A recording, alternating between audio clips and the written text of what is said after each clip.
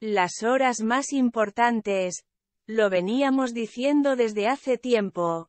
Octubre será crucial para la vida institucional de la princesa Leonor, que a lo largo de este mes, que aún no termina, ha completado la jura de bandera, junto a sus compañeros de la Academia General Militar de Zaragoza, sumado al desfile del Día de la Hispanidad y la posterior entrega de los premios Princesa de Asturias 2023.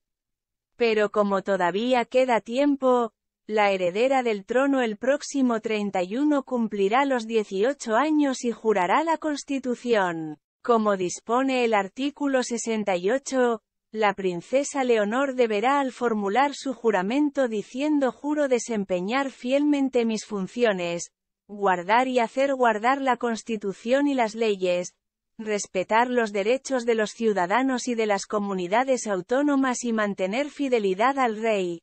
Delante de los diputados y senadores, la princesa de Asturias tendrá que validar el compromiso que, en 1986, hizo su padre, cuando en el mismo lugar y frente a los representantes del gobierno, y la mirada de su abuelo, el rey Juan Carlos. La princesa Leonor ese día participará del desfile militar, en la carrera de San Jerónimo, en las puertas del Congreso.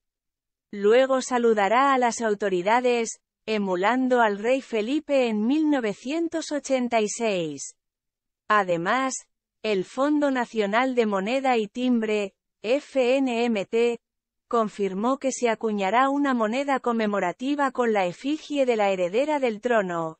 En la misma ceremonia, el rey Felipe le entregará a la princesa Leonor el collar de la Orden de Carlos III, en el Palacio Real, una de las condecoraciones más importantes para la corona española.